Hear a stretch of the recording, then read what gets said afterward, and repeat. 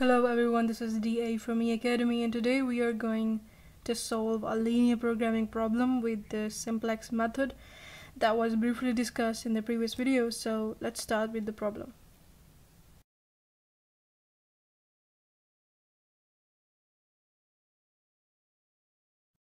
So here we are with the same problem that was discussed in the video of the graphical method. So I'm taking this problem again so as to make a complete connection uh, between the simplex method and the graphical method and uh, in the concept basis of the simplex method. So here we are, we have ob objective to maximize z that is 2x plus 3y and we have four constraints x plus 2y less than 30, 3x plus y is less than or equal to 60, 6x plus 3y less than or equal to 200 and so on. So the 30, 60, 200 and 200 are the limit of the available resources and now the x plus 2y 3x plus y 6x plus 3y these all the things are the limit on the usage of the resources. So again this side is for the limit on the availability of the resources and this, this side is for the usage of the limited resources by the variables. Now for the simplex form for uh, using the simplex method we have to write this problem into the standard form now we can write the standard form of this. So the first method in order to make it the standard form is that looking at the inequality and that inequality sign that is less than or equal to and all of the constraints having the same sign. So in the previous video we have talked about how we can add the slack variable and the surplus variable in the constraint in order to make an inequality form. So here I am adding the slack variable everywhere and making it the constraint in the equality form. Also I am using zero coefficient with all of the slack variables in the objective function. So this is the standard form. So this is the standard form of this problem and here all of the slack variables are also positive so for all si's are greater than or equal to 0 where i is 1 2 4 and also x and y is also positive. So x and y are the variables that was physically understandable when talking about a problem when solving a problem. So s1 s2 s3 and s4 are the variables but different variables. So we are saying s1 to s4 are the variables that are basic variables and x and y are the variables that are non-basic variables. So what is the definition that makes s1 to s4 the basic variables and x and y the non-basic variables? The definition is is a variable is said to be basic variable if it has a unit coefficient in one constraint and zero coefficient in all of the other constraints. So S1 having a unit coefficient in this constraint and zero coefficient in all of the other constraints and same case for s2 and s3 s4 but when we're talking about x it has a unit coefficient here but not a zero coefficient in any of the other constraints. That is why s1 to s4 are the basic variables and x and y are the non-basic variables. So now the second step is making the initial table using this information. So this is the initial table. Here we have the coefficient of the basic variables that are in the objective function S1, S2, S3, and S4 having 0 coefficient in the objective function, BV representing the basic variables, so we have 4 basic variables. Cj is for the coefficient of the variables that we have in the objective function, so x is the variable having coefficient 2, y is the variable having coefficient 3, and S1, S2, S3 having variable 0. And this one representing 1, 2, 3, 4 representing the four coefficients uh, for constraints. So in the first constraint, the coefficient of x was 1, the coefficient of y was 2, s1 was 1, s2, s3, s4 all 0, and this solution representing the right hand side of the constraint that is the limit on the available resources. So these are the first constraint having the 30, 60, 200 and 200 and so on the coefficients according to the constraints. Now we have to apply the algorithm of simplex method to find the object, the objective. So the very first thing is to find Cj, that is mathematical multiplying the CBIs, that is the coefficient of the basic variables with the updated coefficients of the non-basic variables in the constraints. So the formula of the zj is summation of the multiplication of CBIs and CGI. That is, this is CBI, so 0 with multiply with 1 plus 0 multiply with 3 plus 0 multiply with 6 plus 0 multiply with 5. So these are all of the CBIs are 0. So that is why Zj, the summation of all of the 0 must also be equal to 0 at this stage for the x, for y, for s1, for s2 and s3 and so on because these all CBIs are 0. So that is why Zj for all of this are also 0. And now the next step is making a difference of Zj and Cj. So Zj is 0 and Cj is 2. So 0 minus 2 we get minus 2. 0 minus 3 we get minus 3. 0 minus 0 we get 0. 0 minus 0 we get 0. 0 minus 0 we get 0 and 0 minus 0 we get 0 here. So we have to pick the least one from Zj minus Cj. The least one is minus 3. Why we, we are selecting the least one? Because physically it is depicting the desired profit or loss, whatever in the objective function, because our objective function is to maximize the profit. So and Zj minus Cj is optimal when all values are either positive or zero. For example, for example, if I invested $1,000 and the output that I got is of $1,100, so I am I'm in a profit of $100. If the output is of $1,000, is that equal to the what as uh, what is equal to that investment? So there is no loss, so we are still okay with it. But if the situation is that we are having uh, the output is of $900, then we are making a loss in our in our way there is a loss so that there is that is why we have to pick the most negative values of zj minus cj in order to maximize the profit that is our objective function. So again the negative value the most negative value is minus 3 so that uh, depicting y that is the variable. So from here we we realize that what variable is going to uh, in the basic variable sides and which variable basic variable will have to eliminate so here we have selected the column. Now it's time to select the row. How we can select the row? By figure out the ratio. 30 and the corresponding value in the selected column is 2 so we can figure out the ratio by dividing it. 30 divided by 2 we get 15 and then 60 divided by 1 we get 60 and 200 divided by 3 we get 66.67 and then 200 divided by 4 we get 50 so now it's time for for making a physical interpretation of the ratio here. And the ratio is just simply just simply the x and y intercepts. It is just x or y intercepts as we have discussed in the graphical method depending upon which column is selected, either x or y. Here we have uh, with the y, we selected y column. So you, you can also check it by yourself or you can watch a video of graphical method whose link will be in the description.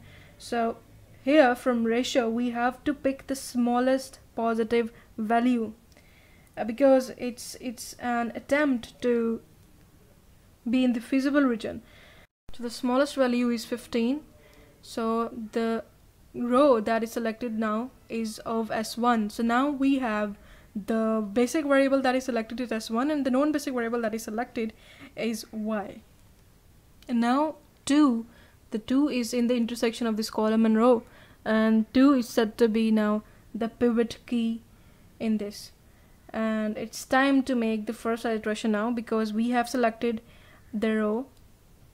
We have selected the column. We know what is which variable is selected on which uh, which variable is selected from here side non-basic variable which variable selected from the from the basic variable side and what is now the pivot key. So now it's time to make the first iteration and there are a, there is a formula for making the values in a cycle. Now in the first iteration because y selected and s1 is selected so y is in now s1 place in the basic variable side and here now we have to rewrite the values by using a formula.